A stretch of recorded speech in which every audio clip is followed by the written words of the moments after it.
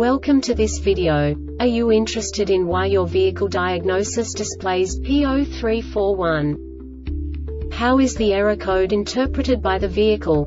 What does P0341 mean, or how to correct this fault? Today we will find answers to these questions together. Let's do this. First, let's look at the history of diagnostic fault code composition according to the OBD2 protocol, which is unified for all automakers since 2000. We divide the electric system of automobile into the four basic units. Powertrain, body, chassis, network. This distribution is defined in the first character code. If the second character is expressed as zero, it is a standardized error. In the case of numbers 1, 2, 3 it is a more prestigious expression of the car-specific error. The third character specifies a subset of errors. The distribution shown is valid only for the standardized DTC code. Only the last two characters define the specific fault of the group. Let's not forget that such a division is valid only if the other character code is expressed by the number 0. Our website airbagreset.sk produces useful videos for you.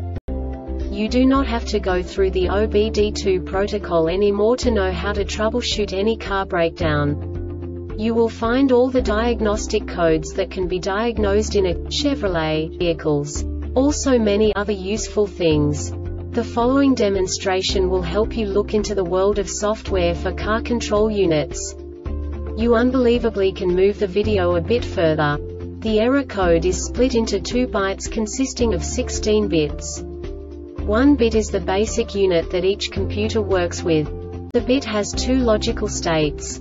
0, low level, 1, high level. By combining the first two bits, the basic character of the error code is expressed. The next two bits again determine the second character. The last beat styles of the first byte define the third character of the code. The second byte is composed of a combination of 8 bits. The first 4 bits determine the fourth character of the code. And the combination of the last 4 bits defines the fifth character. A single byte conceals 256 possible combinations.